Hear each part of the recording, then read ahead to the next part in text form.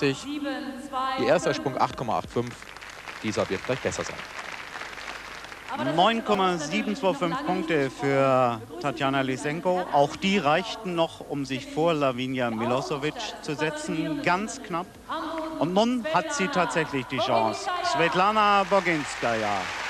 Die Chance, diesen Mehrkampf beim internationalen DTB-Pokal 1992 zu gewinnen. 9,75 Punkte braucht sie. Vielleicht ihr letzter Wettkampf. Vielleicht sehen wir sie noch einmal im nächsten Jahr bei den Weltmeisterschaften in Birmingham. Wo bleibt die Musik? Ich glaube, Sie helfen Svetlana Boginska ja auch noch einmal mit einem herzlichen Applaus, bitte.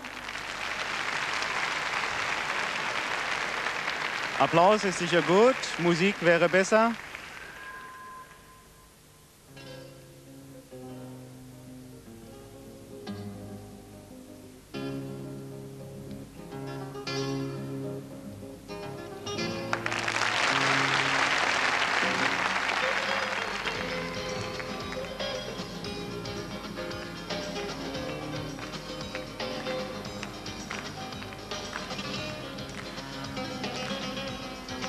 Vielleicht bezeichnet Volker, dass die Musik von den Gypsy Kings, einer französisch-spanischen Gruppe, gewählt wird, nachdem es in Barcelona ja nicht so gut lief für sie.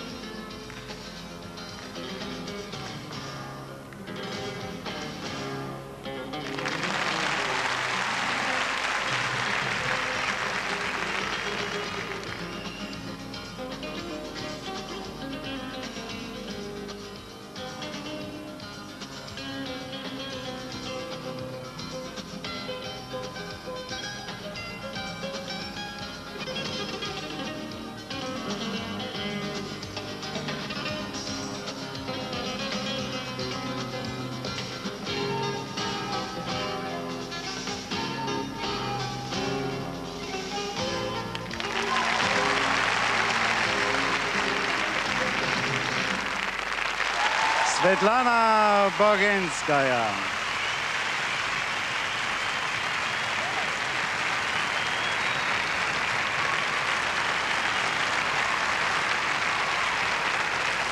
Natürlich hatte diese Übung Defizite im akrobatischen Bereich gegenüber den anderen, die wir gesehen haben, gegenüber Lysenko und Milosevic. Aber sie hat ein wunderschönes Kunstwerk auf die Bodenmatte zelebriert. Und ich nehme an, dass